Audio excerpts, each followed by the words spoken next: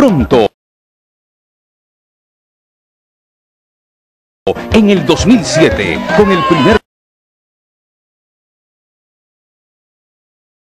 que ya comenzó, mi negra es para ti.